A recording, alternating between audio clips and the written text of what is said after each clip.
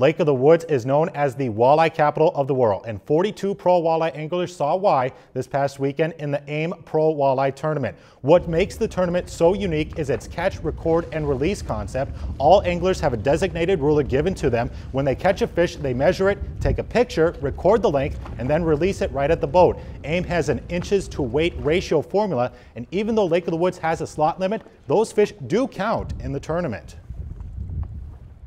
Let's say you get a 22 and a quarter inch fish that their formula comes up at 3.72 pounds. So we let the fish go and, and what it does is allows us to continually catch fish all day long not forced to make decisions to keep it or throw it back. We've been wanting to get on Lake of the Woods for a long time, and with the CRR format that we do, the catch, record, release, it works perfect. Perfect.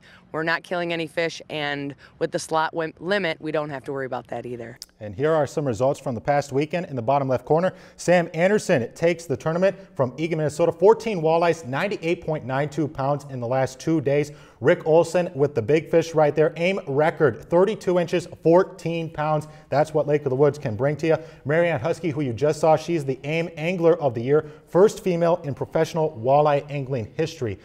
If you've enjoyed this segment of Lakeland News, please consider making a tax-deductible contribution to Lakeland Public Television.